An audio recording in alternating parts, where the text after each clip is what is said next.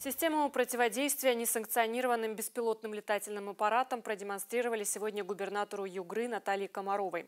Высокотехнологичное оборудование отечественного производителя распознает объекты в воздухе круглосуточно и при любой погоде.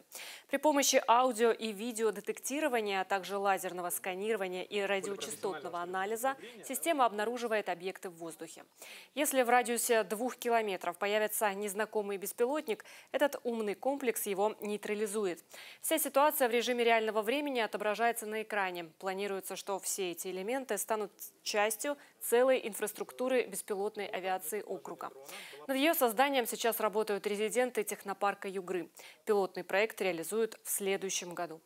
Предполагается, что в целом будет развита инфраструктура беспилотной авиации это на доставку грузов, на мониторинг пожаров, доставку, возможно, каких-то э, медикаментов в труднодоступные места, но это если смотреть чуть подальше. А сейчас на первом этапе это будет да, несколько таких пилотных зон, где будут отрабатываться различные сценарии выполнения задач э, как государственных, так и коммерческих.